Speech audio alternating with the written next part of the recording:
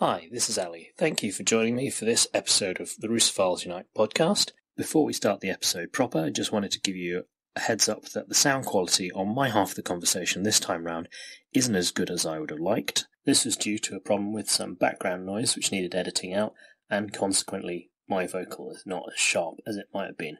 I think I've managed to identify the cause of the problem, so it shouldn't be an issue on future episodes. In the meantime, I hope this won't affect your enjoyment of this one too much. Alright, having got that little announcement out the way, on with the show.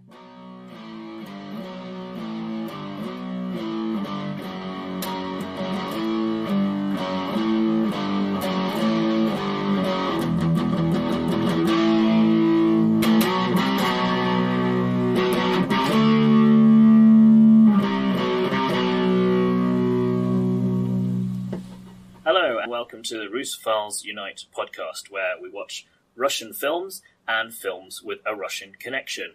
As always, I am joined by a guest, and uh, today my guest is Spencer. Hi, Spencer. Thank you for joining me. Oh, you're welcome. How are you, Alistair? I am doing all right. How how are you, Spencer? I'm doing pretty good. Cool. Yeah. Um. Can you tell me a bit more about yourself? Well, um, I've always been kind of obsessed with Russian history. Don't remember how it happened exactly, but when I was in fifth grade, and I, I would I started reading the encyclopedia for fun, and I just like spend hours just reading different stuff from encyclopedia, and I just like gravitated towards Russian history for some reason, and it got to a point where I taught myself the uh, written Russian alphabet, and I memorized it, and I tried to teach myself the grammar. And this was when I was 12, and that didn't really go well because Russian grammar is uh, challenging, to put it lightly. Oh, believe me, I I, I know from painful personal experience. But um, I guess that's that's the thing when you're 12. You it doesn't occur to you that that's going to be insanely difficult. You just go, oh, I fancy doing that. Yeah, like I knew all the all the characters in the written alphabet, and I could like write them out. And I, I, I think that's about as far as I got. And then I taught my I taught myself uh, every czar in order. That is no mean feat. That and um, including the uh, Soviet dictators too. Gotcha. No, that's that's really cool and pretty pretty impressive. I mean, I think I would struggle to to name all of the um, well English and then um, British monarchs. I think I could possibly do it, but there would, but there would be gaps. So to be able to do that for another country, that's pretty impressive. Yeah, I've forgotten a lot of it because it's been over a decade. But Sure. in junior high, I was a pretty cool kid. Right. I could tell you about False Dimitri, one through three. Yeah, I, I remember that coming up on the episode of um, your podcast, uh, High and Low, that I guested on. You you kind of uh, blindsided me by asking me which my favourite czar was. I think I said uh, I don't know. I think they were all pretty pretty awful. But yeah, uh, so so right back at you. Do you have a favourite czar? Um, yes, it's Sophia, who was Peter the First or the Great, uh, his older half sister, who was the regent before he was old enough to be czar. So so what was it about her that appealed? Uh, well, she pretty much started all like the uh, government reforms that Peter gets all the credit for. Like he, uh, she, she had the first college built in Russia during her reign. She revamped and just tried to straighten out like the uh, Boyar system and uh, tried to just make it more modern and more appealing to the rest of Europe, so you won't be seen as like the backwards country because they were seen as like the like backwards like rednecks. And is redneck a term over there? Um, it's one we understand. Um, just you know, lots of uh, uh, exposure to American culture. I'm trying to think like what the equivalent would be without saying something massively offensive, but sort of backwards, unsophisticated, like country bumpkin type. Yeah, and so yeah, Sophia started all that, and then Peter kind of ousted her because he got a lot of support and he became of age and she never married or had kids, but she had a lover who was a uh, the head general, but he lost favor because he lost too many battles, and uh, she kind of died in obscurity in a convent. Yeah, she's she's one that we tend not to have not to have heard of in in the West.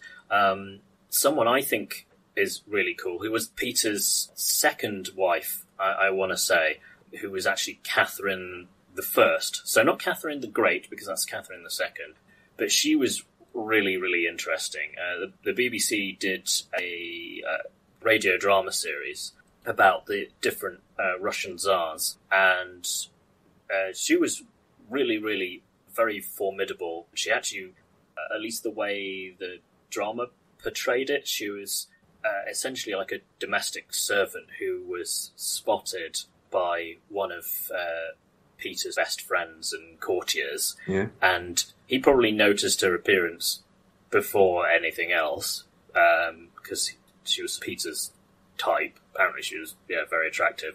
Um, but he also, once he got to know her, he he figured that she was incredibly smart um, as as well. I mean, at least at least again in the in the drama, she she wasn't a native Russian mm-hmm. speaker, but taught her, herself to speak uh, Russian very very quickly.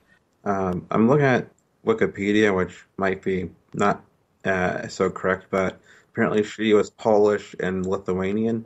Yes, yeah, that's that's that's right. That's what I understood from from this radio series. I don't think it's. I think it would probably be pretty hard to find, as I don't think it's on, online anymore. But I don't mm. know. Maybe it's on on Audible or something, or will be at some point. I guess, uh, yeah. At this point, you you sort of say, "Oh yes, Audible, you should you should hmm. sponsor us, seeing as you sponsor all of the other podcasts." Uh, but uh, yeah, not high and low yet. Not yet, uh, but uh, you have to have to figure figure out like a, a sort of a book tie-in or something. I know there are a couple Kurosawa books. Have I brought up that I have a Kurosawa podcast?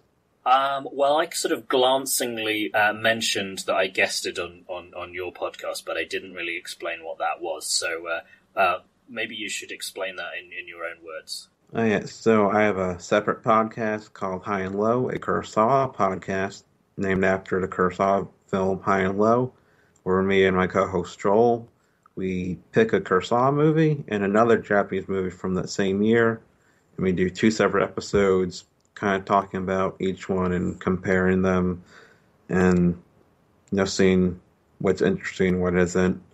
And uh, you know, sometimes it's pretty easy. It's on Criterion or whatever, and sometimes it means like spending like thirty bucks on import DVD. So this being a Russian film podcast, I, I feel your pain on the import uh, DVD front. Uh, yeah, I until I started listening to your podcast, I had I had no idea quite how prolific uh, Kurosawa had been. You know. Oh yeah. How many films did he do in the end? It's debated, but um, mm. thirty-three or thirty-two, because his first film, the director quit towards the end, and so Kurosawa had to finish it, but his name isn't attached to it because he only finished like the last third or so. And there's another movie, a propaganda film he did where it was different segments and he wanted his name taken off of it. And the film has never been released, like officially, but it's called a Kurosawa film by some people. So there are a couple kind of uh, questionable ones in the mix. Sort of fall in a, a weird sort of limbo zone. Yeah. Okay. Oh, cool. Um, and of course, he one of his, I guess, like lesser known films these days uh, was actually a, a, shot in the Soviet Union. Uh, yeah, Der, uh, Dersu Uzala. It's um, a memoir by I gotta look it up. He was a a Russian explorer who um uh, he was uh, uh, what do you call it when you're trying to like make a map of an area? Oh yes, um, like explorer is not is not sufficient. Like cartographer. Yeah, something like that. Surveyor. Surveyor, that's it. And um, anyway, I can't remember. It, but it's a so it's a book that came out, I think, after Soviets took over in the twenties, called um, I, I translate to Dersu the Trapper or the Hunter. The English translations are, always all over the place. But he ran into this this like Mongolian Russian man who uh, just kind of lived in the forest and helped them survey the land. And then five years later, he surveyed Siberia. The captain uh, surveyed Siberia again, a different part, and kind of runs into this this trapper again. And they, it's just the story of their friendship and their adventure, and uh, it's a kind of a sad story because he ends up getting shot by a, a thief in a uh, I forgot what city, but he ends up living with the It's probably Khabarovsk or somewhere like that. yeah, like there. Stu ends up living with the the captain because he can't hunt anymore because he's going blind, and uh, he ends up getting shot. It's all historical, so it's not really a spoiler. And he Sure. gets shot by a thief because he gets given like a fancy new gun with better eyesight. Like I, I don't know what you call. I don't know guns. Like the thing that it's not a scope. Yeah, like a sight or I don't know. Guns are not really really a thing I know I know too much about either. But uh, yeah, I guess you could say it wouldn't wouldn't really be a, a Russian set film if it wasn't slightly depressing. So. Uh, although that's perpetuating a terrible stereotype. Um, Yeah. But yeah, that also brings up the whole issue of what's perhaps poorly understood in, in the West is that Russia, like like most places, it's not um, ethnically homogenous, but but I think people don't realize just quite how diverse Russia is. Just because it's this Mhm. huge, like multi-ethnic empire, it just has the, the label Russia slapped on it, and you kind of think, oh well, Russia, so everyone is Russian. Um, Not necessarily. Some people look very Mongolian, but they are still Russian. Exactly, yeah. And then, of course, you had the whole Mongol yoke business. So you had the Russians being ruled over by the uh, successors of uh, of Genghis Khan, and The uh, Golden Horde. uh, yeah, indeed, yes. Uh, I'm tempted to make some some joke about uh, not being able to um, make a a Mongol yoke without breaking some eggs, but um, yeah. Uh, I think I think the, the subject of today's film would probably have me brutally uh, tortured or something for, for making a joke that bad. um, and so yeah, that uh, awkward link to the film that we're watching. Uh, so today we're, we're going to be watching Tsar, and the subject of uh, of that film is Ivan the Fourth, or as he's better known, Ivan the Terrible. Or Ivan Grozny. Oh, very good, very good. Um, But terrible is a terrible translation because I've seen it as it means formidable or strong, not terrible. I'm I'm really glad you, you brought that up because that's definitely one that needs to needs to be brought up. Yeah, terrible in sort of like an older sense of the word, but like you say, Mhm. yeah, it doesn't really capture it because terrible tends yeah just tends to suggest that he was just a really bad dude, which is part of it. But yeah, the the sense of the Russian word is more like as you say, formidable. I mean, I've s- sometimes seen him called Ivan the Dread, which is a Mhm. good one. Um, That's pretty metal. yeah, yeah. Um, yeah, another English translation that wouldn't work very well with modern English is Ivan the Awesome, because you just think he was really cool. Yeah, well, it means awesome in the old timey, like biblical sense. Yeah, like the prostrate yourself in fear, um, or else. Yeah. So, uh, what do you know about uh, about Ivan? Um, he's the first crowned czar. His grandfather, Ivan the Ivan III or Ivan the Great, who freed the Russians from the Golden Horde. Although the Golden Horde was pretty weak by that point and kind of a joke. But um, his grandfather was the first Russian to use the title czar in like official papers and stuff like that. It's referred to himself, but he kind of stole it from the I think started in Bulgaria. Okay, The the word czar. It kind of well, it kind of spread from Central Europe to Eastern Europe, and uh, when Ivan was crowned, he in his coronation referred to himself as czar, and so he's considered the first czar. But that's technically not that true, but kind of is true because like Russia was just a series of like city states, kind of that are loosely connected for a long time.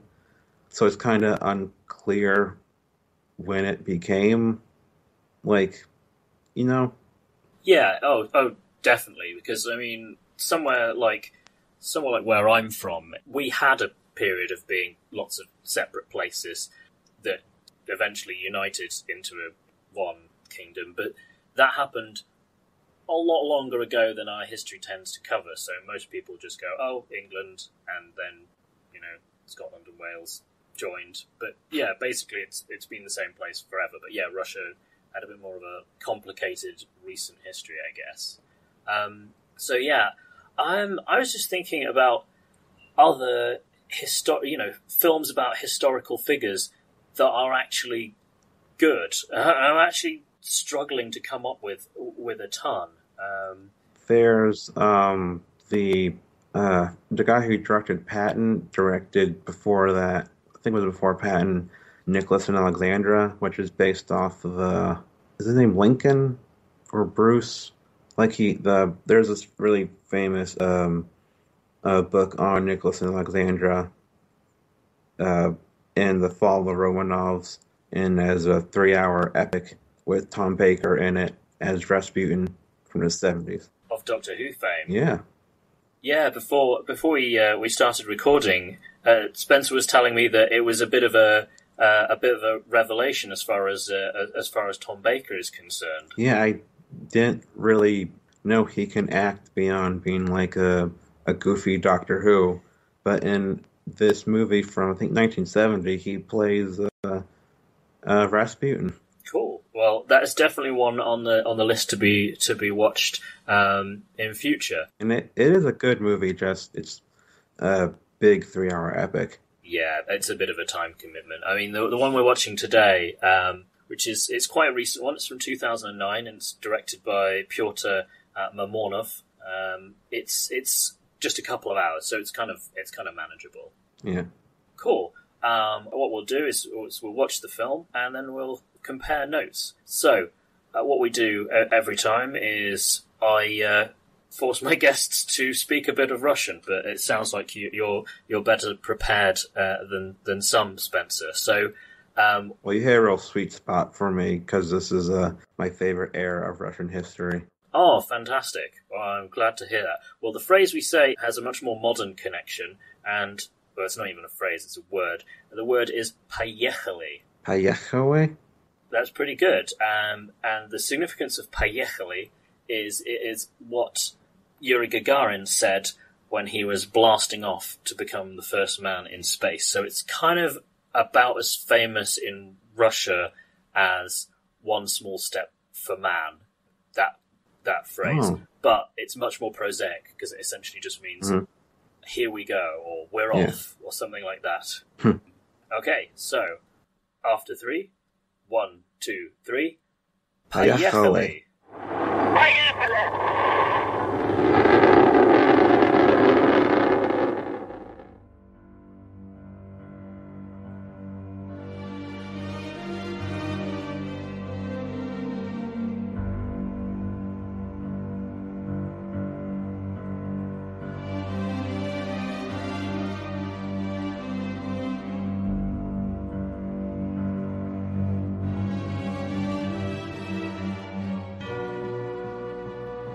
And welcome back. We've just watched Tsar, and now we're going to talk about uh, what we thought about it. But first, uh, a quick summary of the plot from uh, Spencer. So, Spencer, take it away.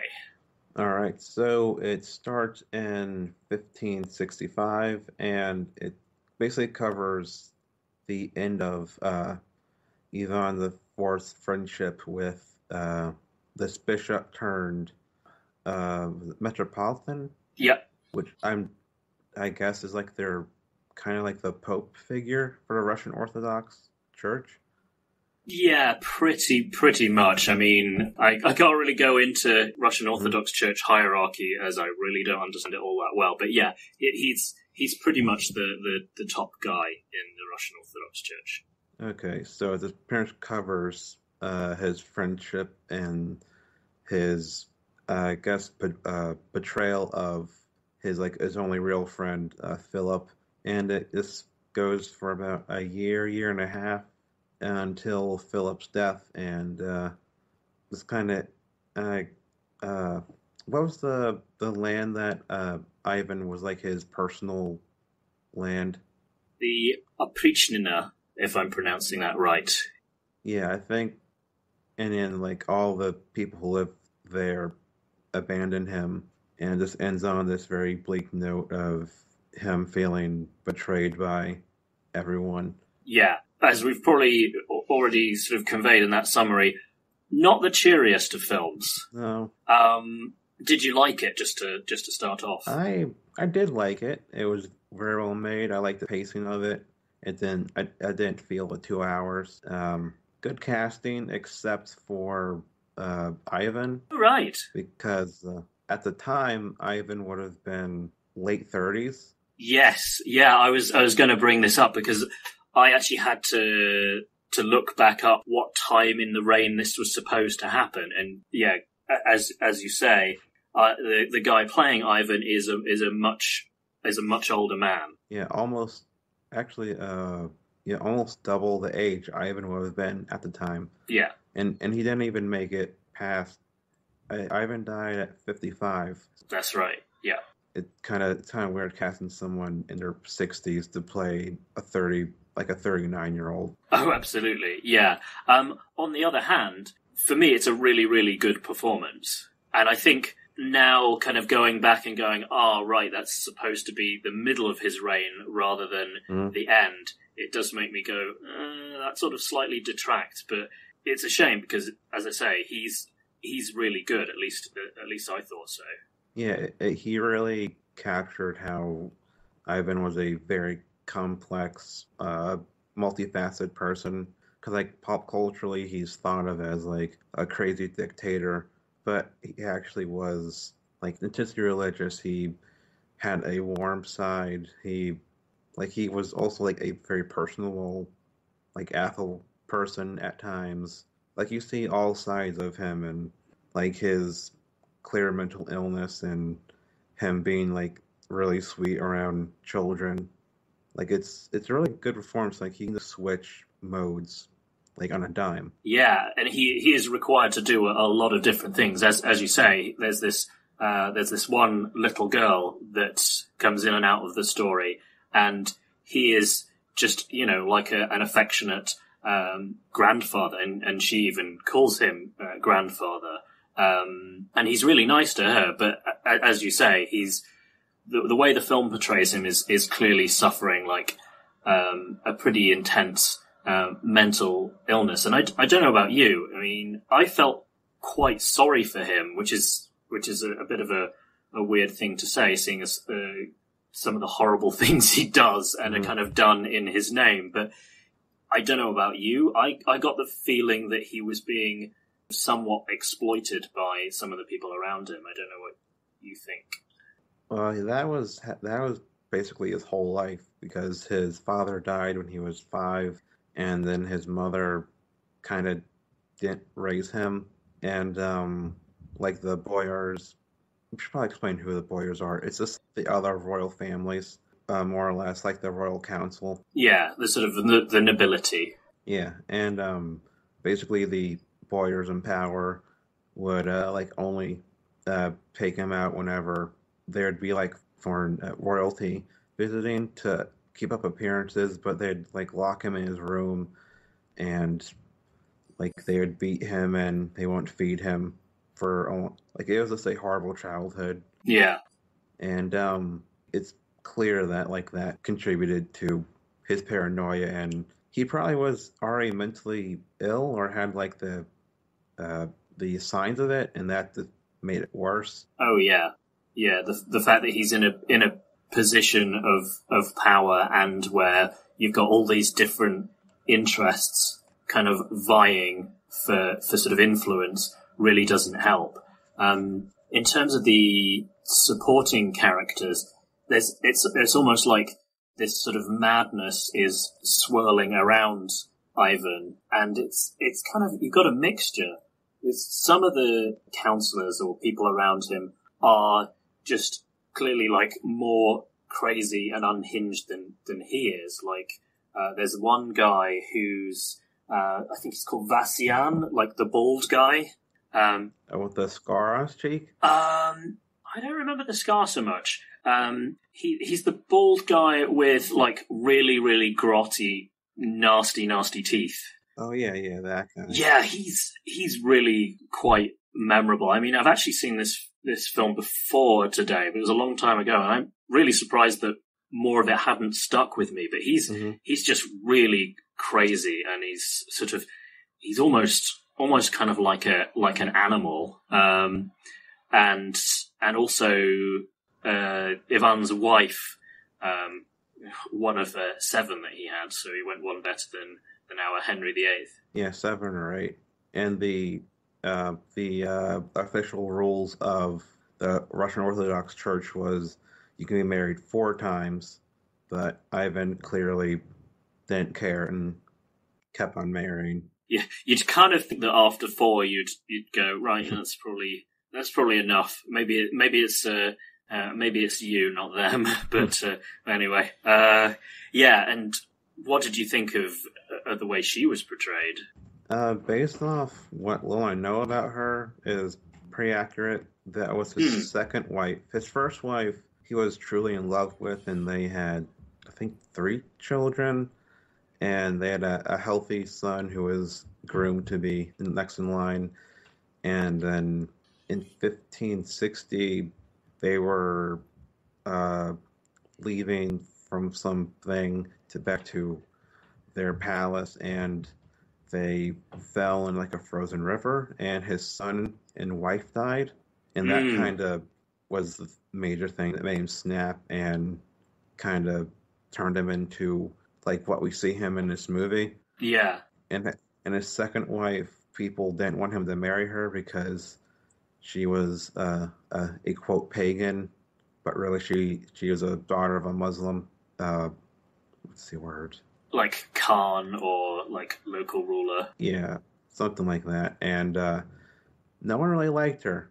Yeah, and certainly the way she's portrayed in this film is, I mean, not quite as as mad as uh, uh, Vassian, but um, but she's, you know, you never see her have a normal conversation with anyone. She's always kind of No. like, I think the first the first time you you you see Mhm. she's kind of like groveling to him and sort of you know like kissing him up and down his clothing. It's not like it's a love scene or anything like that. It is just she's sort of I don't know groveling, and then later on you see various different scenes where she's just beating people. She's almost a bit like this is a bit of a weird comparison, but I don't know if you've seen the Mhm. James Bond film um, Goldeneye. Um, I barely remember it. Do you remember the Xenia Onatop character who sort of gets off on killing people? She sort of reminded me a bit, a bit of that, Hmm. in that she's she seems to enjoy being cruel to people in in a sort of slightly like sexual or sensual way. At least that's how it came across to me. So that was that was a bit weird. Um, Yeah, yeah, like she was apparently illiterate and just a mean person. yeah, I mean, I guess illiteracy back then was mm, pretty pretty common, but yeah. Uh, she does. She does not get a. She is not portrayed in a particularly flattering way uh, at all by by this film. I don't know. In terms of uh, of the of the other characters, though, um, I think the uh, the main, you know, sort of if it's a two hander, and the the, uh, Mhm. the other main character is is the Metropolitan Philippe. I really liked his performance as well, um, and I, I I don't know what what you thought, but a lot of the time it's he's not called upon to say very much, but you just read what's kind of going on through his face. Yeah, he's one of the few people who's trying to genuinely help Ivan, but Ivan is clearly too far gone and uh, won't really listen to him. Like at times, he early on he kind of will listen here and there, but like by halfway point, it's clear like their friendship is you know effectively dead. Yeah, essentially just because uh, Philip is is as you say trying trying to help, and he's he's really sort of like quite gentle about it. He's just saying, you know, hmm be merciful, and and Ivan is saying, well, but I have to punish people. That's my job. That's what God has asked me to do. Um, and Philip's like, are you sure? Uh, yeah. Um, and then just yeah, you feel. I think he's the easiest character to con- sort of connect with in a. He's almost like the window into the time period because yeah, it's hard to identify with any anyone else just with uh, mostly just behaving in an incredibly sort of cruel and uh, you know stereotypically medieval way. Although obviously, uh, sort of if we want to be pedantic about it, it's uh, we're in the sort of early modern period already. Yeah, it's I guess the Renaissance would have been going on in Italy around this time. Oh yeah, it's yeah, we're well into that that period, and there's actually a, a bit of an allusion to that at one point, isn't there, where you have um, this German kind of inventor guy. Um, oh yeah, he's not in it for very very much, but initially Philip shows him these these drawings and says they're they're by Leonardo. This sort of allusion to that sort of stuff having been around, although I think okay, because he kept saying like these are from the Italian, and it didn't say it said like I guess the Russian version of uh, Leonardo in my translation, but I wasn't really sure if they're talking about uh, Da Vinci or not. I sort of assumed it was because they they just referred to him as as Leonardo. Um, so there is kind of yeah allusions to that sort of stuff having gone on, and that this isn't you know uh, in an earlier period, but it just it, it's kind of good that this is a film about Russia made by Russians mm-hmm. because if it was a Western film, you'd feel like you know this is just really stereotypical kind of oh look how barbarous the Russians are and how nasty life is there. But it's like, no, this is them saying, yeah, this was a really awful period of time to live in. Yeah, it's that's kind of that's their existence for kind of a while. Yeah. Um, and I feel like not that they cover this at all in, in the film, but I think for the sake of balance, uh, we should mention that several centuries, centuries before this, um, in the semi-independent city-states period, things were really pretty civilized for the time. You know, they had mm-hmm. like relative amount of self-government. It wasn't like a democracy, but people had a had a say in the town uh, meetings. It kind of comes up a little bit in the in the film where um, Ivan says something to Philip about how you know it's it's really bad if the many rule, and that's why great cities in the past. Mm. He's not specifically talking about Russian cities, but I think he's talking about cities in general fell because lots of people had a say in decisions, whereas it's much better if it's just one man rule. Yeah, that attitude carried all the way to Nicholas II. Oh, yes. Yeah, he famously, uh, I forgot what book it was, I think it was like Nicholas, Wilhelm, and Edward, the three royal cousins. Yeah. From World War One and like the, the Nicholas section, they talk about how the mere mention of like a republic or democracy would send him into like a screaming rage. Really? Okay. Yeah, he he did not want people bringing that up because he thought a parliament was a stupid idea. Yeah, yeah. Which by that point he was, I guess, not solely in the minority because mm-hmm. obviously, like in, in Germany, you had an emperor with quite a lot of power. But even there, I think um, the they they had like a, a, elected body that had at least some kind of influence, even if uh, the Kaiser had had lots of decision making power. I feel like going back to this film specifically, though, um, it's it seems to be a, like a really a critique of of just autocracy and just letting essentially one person have all the power. I don't know what your take on that is. Maybe it'd be more fair critique if they maybe do like a fictionalized combination of different czars, because hmm. Ivan was clearly very mentally unstable. Sure. So it's kind of like a biased way of it'd be, it'd be like a biased critique. Yeah. Like I thought more as just like um, it's just like a type of biopic I prefer which is a, a set aside a a specific uh, point in time in their life and just focus on that. And this, this to me was like just purely like uh, Ivan's friendship, like his last true, not last true. There were some other people, but like uh, one of his most important friendships coming to an end, and like this portraying this period of time. Yeah, yeah, definitely, and, and I also feel like don't think I put it very well just just now. I feel like it's also saying that for a regime to be as as horrible as as this film is showing it to be, mm. it's not just about one guy because there there are these other characters. I mean, we've talked about the the more like deranged ones, but there's mm. some pretty calculating, nasty, nasty people.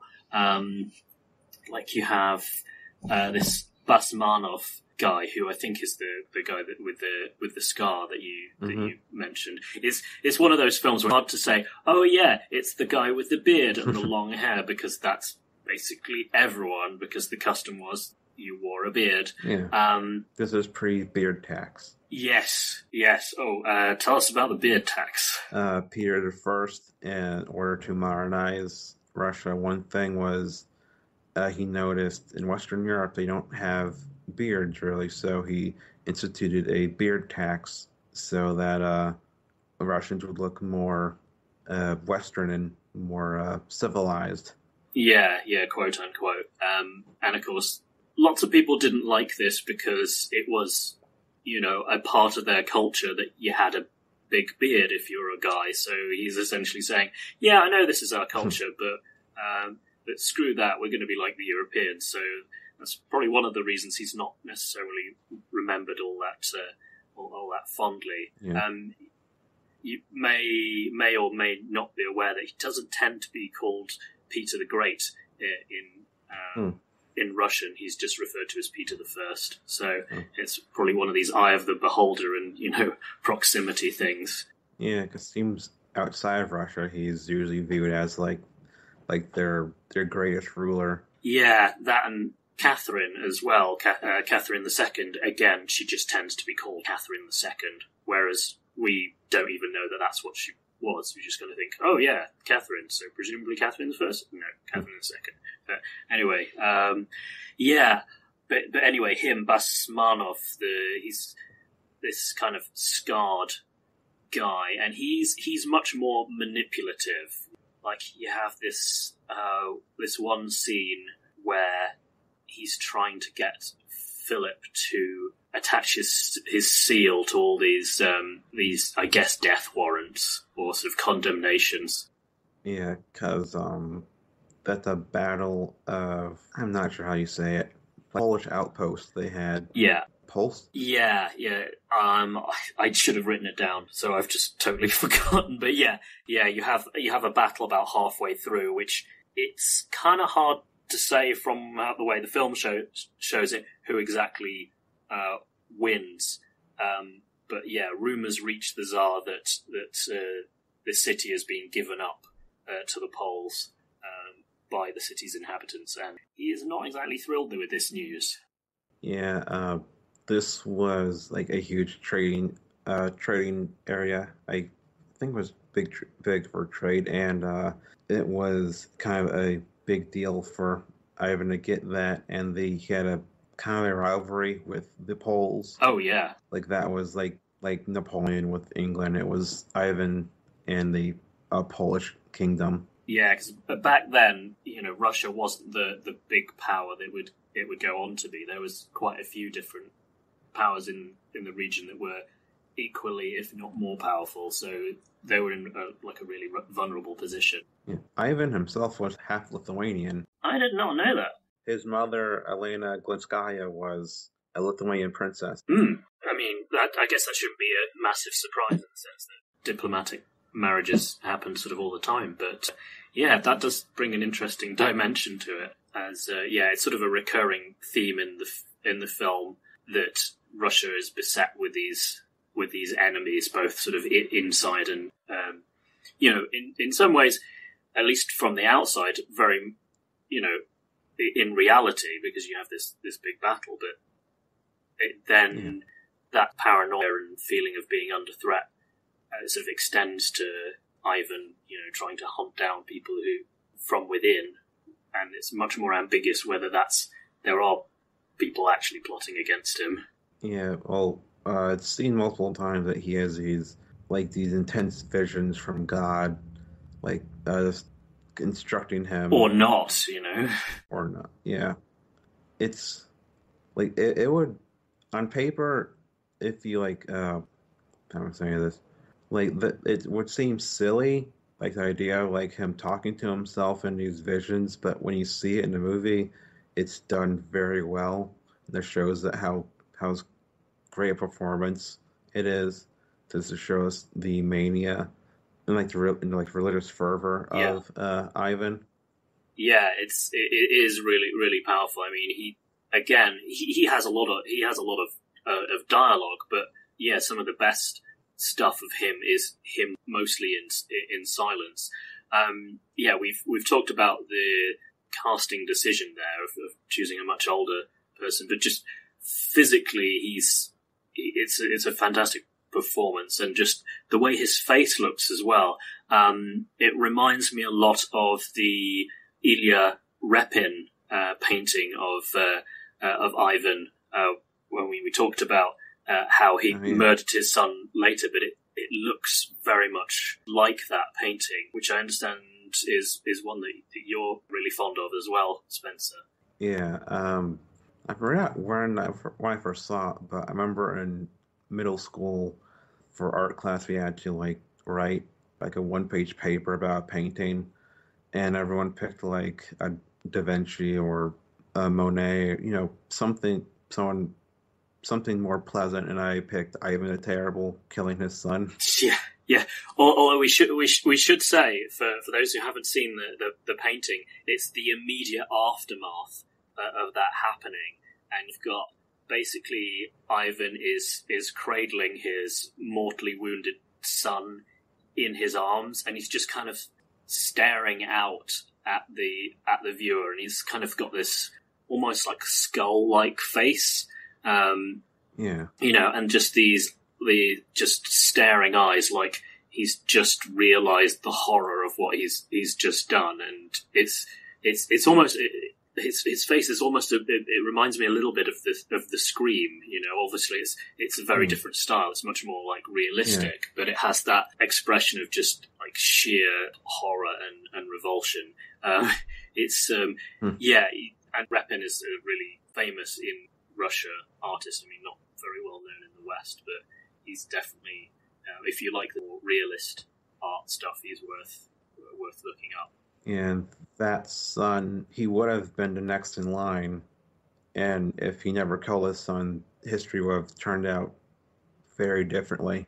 Yeah, um, what happened after him was you you got, uh, if I'm right in saying, his uh, an infant son Fyodor inherited the throne, and he did not mm-hmm. last very long.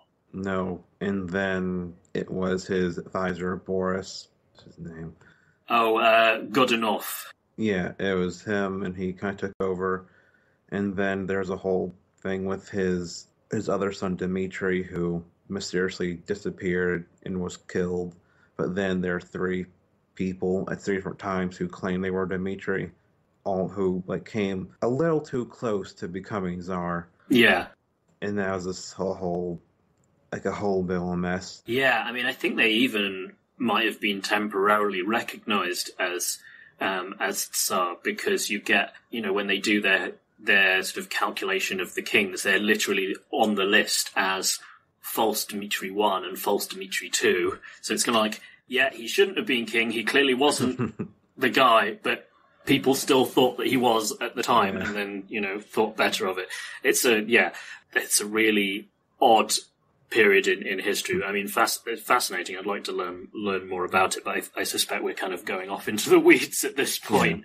Yeah. Um, but um, this does show like a thing that uh, I mentioned that Ivan was a very complex person, and this I like that this showed that after something terrible he would do, he would go through like an intense religious phase because he like after like a huge outburst of violence, he would immediately retreat to a monastery and pray in solitude for a while. Yeah, I mean, it's interesting the way the film depicts that side of things because, quite often when he's talking to somebody else, he's saying, you know, very forthrightly, this is God's will. It has to be this way. And, you know, you get the impression he's totally certain.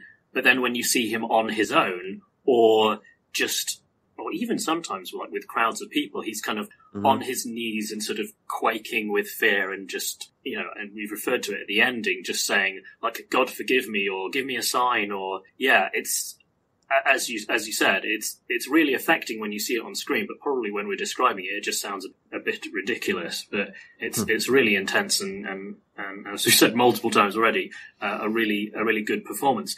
Um, interestingly, um, the chap who plays uh, Ivan is um, he he wasn't originally um, an actor. He initially found fame as a, a as a musician, hmm. like in um, like I guess late eighties. It was in a. It's probably too simplistic to call it like a Russian or Soviet mm. punk band, but that's kind of the sort of scene that they were part of. And I think he just met the director uh, that way, and so he um, he done like a few films with this director already, which I think uh, um, I said uh, that Pyotr uh, Mamonov, who's the actor. Mm-hmm. Um, who plays Ivan, directed this film, but actually the director was Pavel Lungin, I should get that correction in there, but they'd worked together before. Mm. Um, you know, if, if, if you said that he wasn't a, originally an actor, it's it's a little bit of a, a surprise anyway because he's he's really good. I was like I thought he was like a classically trained like uh, Daniel Day Lewis type because like that performance is just so intense, and then it's like oh he's just like a punk guy who kind of fell into it. Yeah, yeah. But then again, I mean, I suppose it's not all that unusual for people to come from different performance backgrounds and turn out to be, you know, a fantastic, like, serious actor. I mean, a, a good example I can think of that is uh, is uh, Billy Connolly, mm-hmm. um, you know, primarily sort of thought of as a, a, as a comedian, but he's done, you know, quite a few serious roles, and if you didn't know that that was his background, you'd just assume that that had been his job forever. Oh yeah. Yeah, I mean, I don't know if you've seen uh, Mrs. Brown, uh, where he plays like the servant of Queen Victoria. I just know him for Boondock Saints. Oh, I haven't seen Boondock Saints. Um, well, you're not 17, so don't bother.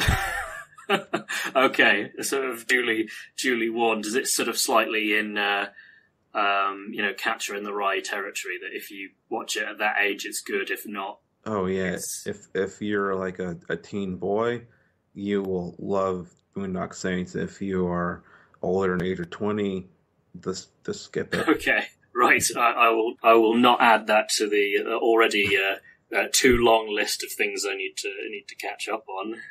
But uh, that being said, those movies are awful. But Billy Connolly is by far the best part of those movies. Mm. Going back to uh, to the uh, the film, like, what did you think of it? Just in terms of the direction and just the way, the look of the thing. We haven't really touched on that all that much. Uh, I like the production because, like, uh, I'm not an expert on the the clothing or like the clothing of that era, but the little I, that I do know from paintings is that like it's pretty accurate and I like the it's the whole like set design costumes. Like you can tell there was a lot of effort put into the tiniest details. Yeah, it's kind of a sumptuous production. You can tell like a lot of money was spent on it. And um, there's this one part. It's after it opens with Ivan praying uh, by himself, and it then cuts to him going back to his palace and getting ready And it's just this long tracking shot of servants dressing him, and it's just this beautiful shot that clearly shows like the the relationship of he's he has all the power and he he literally doesn't have to do anything. Yeah, but also the fact that he has all these like regalia that's part of that, you know, is conveying how important he is and the cross and this icon sort of hung mm. over him, and it's just yeah, as you say, it's a long shot, and there's lots of different bits of the costume put on, and it's and then you know he comes out and he's this this grand figure. It goes. It's like wearing this. Originally, it's wearing this tunic, and it ends up in this like a very formal like royal regalia. Yeah, and you totally get why monarchies and things like that had all of that fancy regalia because you just have somebody in their tunic. They're not all that impressive. They're just Hmm. another person like you. But when you see them in all this, you know, impressive gear, you're kind of like, wow, that's that's an impressive an impressive guy. I don't know. I'm I'm kind of babbling, but it is yeah, it's it's a it's a great shot and loads of great landscape stuff uh, as well. Um, a lot of it is you know very stereotypically uh, Russian and cold and snowy, but often you just got this really this contrast of the Oprichniki in their in their black Mm. against like the sort of snow covered landscape, and it's it's really striking. I would have loved to have seen this at the cinema. Yeah. yeah, can't see it coming to a cinema near me anytime soon for some reason. But uh, There is one thing I did not like. Uh, it's in the beginning where you see them killing chickens on screen. yeah, that is that's definitely a memorable part. Yeah, I don't, I don't like seeing animals killed on screen in movies. It's just a little like you can fake it. Sure. I, I don't need to see it. Yeah, I wasn't I wasn't sure whether that was was for real or not. But Oh, it that was definitely real. okay. Because you see one chick, a couple of chickens, just like with their heads cut off, just like flapping around because like uh, they don't immediately die. They they kind of uh, they're trying to serve. They sort of bounce, don't they? Yeah. Yeah, It, if that was, yeah, really, um, as you say, as, as you suspect, like, uh, live chickens that they use, that's really horrible. But it, and I'm not trying to justify that, but in terms of Mhm. showing that image, it does, I think it does tie in with, with the sort of the, the theme of the film, just senseless violence going out through because it's not even like they're just chopping them up to have, to have them for dinner. It's just like literally these these guys with swords throwing these chickens up in the air and then whacking them just just for yeah. like for fun essentially and it's it's like yeah there's a lot of that sort of thing going on in in this in this film which I guess that could be like uh, foreshadowing for later. oh oh definitely um we should say this this film is probably probably gathered from what we've said already but there's a lot of really really tough stuff i don't know what there would have been but over here it would be definitely a 15 i guess an r over in the states Uh, well, uh, apparently it's PG thirteen over here, which really yeah, which feels like a mistake. It, it does. I, I wonder whether they made made a few cuts for the Amer- the like. I don't know whether it was ever released cinem- cinematically, but Well, over here, probably like New York and L.A. yeah, and like that probably be it. yeah. Similar here, it would have been yeah big cities, but but yeah, wouldn't have made it out to where I live now. Um, but yeah, it's really really tough stuff, and yeah, like you say with the chickens, that's upsetting. Um, I mean, yeah, I've seen worse. There's a Japanese movie I cover on my podcast uh, with Joel, where you see a, a cow get slaughtered on screen, mm, which is a lot uh, more uncomfortable. But it's yeah, sure. but the chickens are still just they have the money. They if you see you see a production value in it, like they could have they could have faked that. Yeah, yeah. There's a lot of, you know, obviously faked cruelty through, throughout the film. I think this is definitely falls into the maybe not quite as graphic as as Game of Thrones, but um, if you kind of use that as a as a yardstick, it's kind of it's on that scale of nastiness happening. I think for me, like the most disturbing part is is the part with the bear. Oh yeah, I Blotted that one out. Ugh, yeah I try to forget that. Yeah, this is basically it's it's almost like the turning point of the film, I would say. So it's tricky not to give too much away, but It reminded me of the. Uh, it felt like a Colis- like a Colosseum Roman type thing, oh, absolutely, yeah, which fits because um, uh, the Russians originally saw themselves as the next Roman Empire after the Byzantines fell. yeah, yeah. Often they called Moscow the the third Rome, and there was even like a a, a prophecy, which I think it was. I could be getting these mixed up, but I think it was called the Legend of the White Cowl for some reason. So the other the other two were sort of no longer worthy. So God, for some reason, was deciding to move it to, to Moscow, which is, you know, probably probably a great thing to hear if you're the Tsar. But uh, Well, uh, do you know why the Russians chose the Orthodox Church? I've heard the legend, but uh, it'd be interesting to hear what exact version you've heard of it. My understanding was that uh, when I forgot who it was, but um, when they're deciding what their official religion should be, they met with um, like uh, Judaism and Roman Catholicism and and like Muslims, and they picked Orthodox because the head of the country is the, also head of the church. Oh, okay. That is a much more prosaic uh, explanation. um, yeah, as definitely they have uh, the Eastern Roman Empire had a kind of, I guess it's technically referred to as Caesaro papism, where yeah, there's this Mhm. sort of kind of the emperor has a religious role as well in the in a way it's a bit more separated in in, in Catholic countries. Uh, the the more colourful version that I've heard is that um, the Russian emissaries just weren't all that impressed by the church services um, from uh, the from Latin or you know Roman Christianity. So they're just like yeah. Mhm. Um, whereas Judaism was rejected because the Jews no longer possessed their holy city. So it's like, well, okay, so um, if they don't even have their own most important place, then there's not that much power in it. And then supposedly Islam was was rejected uh, because they didn't let you drink alcohol. So um, Um, that is true. um, and supposedly uh, Vladimir, who was the prince who Mhm. converted the uh, the Russians officially, um, or said this is what we're going to be from now on, uh, is supposed to have said that drink is the joy of the Russians, which.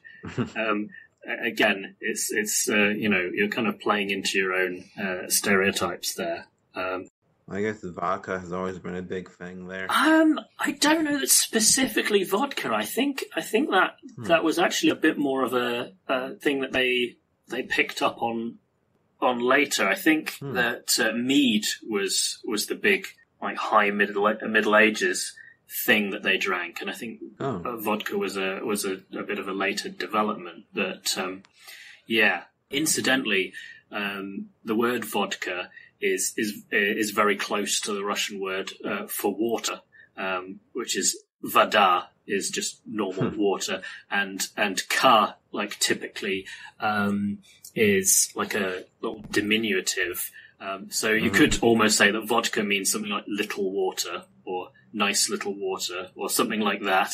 Um, Hmm. but yeah, actually, this is something that won't come up too much um, in.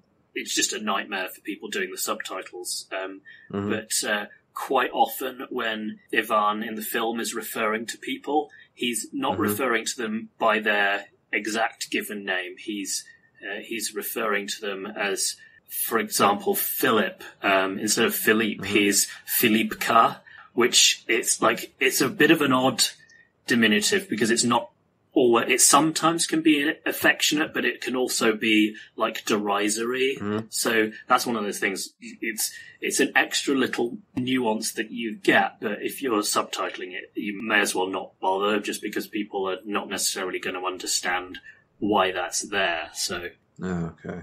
Yeah, Russian diminutives is that just makes the names seem more complex. oh yes, yeah, I tried reading the Brothers Karamazov, and that was just dense. yeah. Yeah, you're like, who is that that they're talking about again? I mean, once once you get the hang of it, and living in Russia for a while, you kind of you have to. But Mhm. uh, if you're just coming at it cold, it does make things a little bit more uh, more complicated. Um, Was that a pun? sorry. That a pun? The cold? Oh, not intentionally, but uh, um, all right then. So I think we should probably um, wrap this one up. But before we do, I would just uh, ask you a few things. Like, is this a film that you would recommend to other people? I would recommend it if you're interested in history, or uh, especially Russian history. But if you want to see like, a good biopic on someone who I think is misunderstood in pop culturally, this is a good a good movie to see. It's good production. I like the pacing. It's edited well. You don't feel the two hours. Um, yeah, it's it's a good solid movie. It's a little repetitive with like the the Philip and Ivan scenes where they're going back and forth about uh, the whole going too far, and it gets kind of annoying as it goes on. But uh, it's it's definitely worth worth seeing. Okay, cool. I mean, I'd say yes, would recommend, but you know, if it's a Friday night and you just want to watch something to chill out with, maybe pick something else, as this is there's some there's some pretty uh, brutal stuff going on. so it's it's not necessarily going to make you feel better. um, yeah. No. okay. Um, so thank you very much, uh, Spencer. You've been uh, a wonderful and uh, extremely knowledgeable guest. So it's been really great to bring that uh, expertise to bear on the on the discussion of the film. Oh, thank you. I've never been called an expert. It's yeah, no, it's it's really it's really great. Um, mm-hmm. Yeah, but before we go, is there anything you'd like to make people aware of? Let's see. I have a podcast called High and Low, a Kurosawa podcast that you have been on talking about the Kurosawa film The Lower Depths, based off the Gorky play. And um, in my in the podcast, uh, me and my co-host Joel will pair a Kurosawa movie with another Japanese movie from that same year, and uh, compare and contrast the themes and all that stuff we, we aren't film experts. We're just fans, so it, it's a definitely more casual. It's not like a deep film theory thing. We're just hanging out, looking for an excuse to watch Japanese movies, which was the whole point of the podcast to begin with. And um, I've been on the podcast uh, School of Schlock talking about this interesting kung fu movie called Return of Kung Fu Dragon. It's School of Schlock episode 26 and I was on the podcast The Grind Bin talking about this very challenging satire about the history of black people in America called Coonskin from uh, Grind Bin episode 74. And that just sounds challenging just from the title. I kind of like, oh, I'm not sure what I'm going to make of that. It's, I like the movie. It's just a very odd experience to sit through, but it's it's it's well intentioned. It's supposed to make you uncomfortable. It's playing up on racist stereotypes. That's the whole point of the movie. So if that makes you uncomfortable, it's doing doing its job. And I write for Cinema Knife Fight. I review old TV shows and TV movies. And I just did one called Baffled. It was a BBC TV movie, Secret Pilot, where Leonard Nimoy plays a Formula One driver who has uh, the power of foresight and so he uses that to help solve crimes. Oh wow! And so, yeah, it's on YouTube in a couple places. It's on DVD. It's this very odd BBC thing they did in the seventies. That's a whole lot of fun. It does definitely sound, yeah, like a very seventies, yeah, kind of idea. Plus, you know, always good to to see um, Leonard Nimoy in something uh, besides uh, besides Spock as well, because I that's pretty much all I've seen him in, so that would be interesting. Yeah, I highly recommend uh, the TV movie Baffled, and also read my review on uh, Cinema Knife Fight. Oh, cool! And um, uh, do you have a Twitter handle at all? Um, my my Twitter is my podcast Twitter at High and Low Pod. Cool. So we can yeah get in touch with you with you that way. Mm-hmm. Um, okay. Uh, you will be on High and Low again for the Idiot. That's that's the plan. Yeah. So uh, you know, so if you thought uh, that Tsar was a barrel of laughs, hmm. just uh, just wait till you uh, yeah see that one. Yeah, that's a that's a difficult movie. to put it lightly. I haven't seen it yet, but I've uh, but I've read the the Dostoevsky novel that it's adapted from, and um, yeah, um, there's not as there's not as much violence as there is in Tsar, but it's it's it's not uh, it's not a fun, happy time. But then you should kind of know that if you know anything about Dostoevsky. Yeah. So well, the original Kurosawa's first cut was five and a half hours. Wow. He cut down to two hours forty five minutes. So it's it's a just a bizarre, challenging adaptation. It's very well made. It's just it's like his it's his stalker. Hmm. Okay. Wow. Um, which, yeah, having reviewed Stalker earlier on, yeah, um, in this podcast, uh, you should check out that episode uh, for some more in- insight into what that might might mean if you haven't mm-hmm. seen uh, Tarkovsky's Stalker before. So, yeah, so sounds like we're in for a, a, a treat with that one. Yeah. okay, well, thanks again, Spencer. You're welcome. And das Vidania, folks.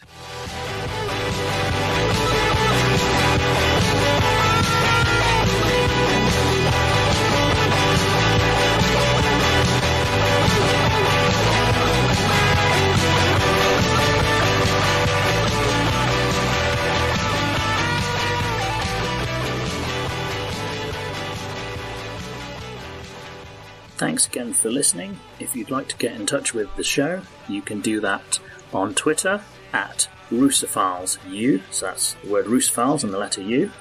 Also, there's a Russophiles Unite group on Facebook, or you can email me at russophilesunite at gmail.com. Bye for now.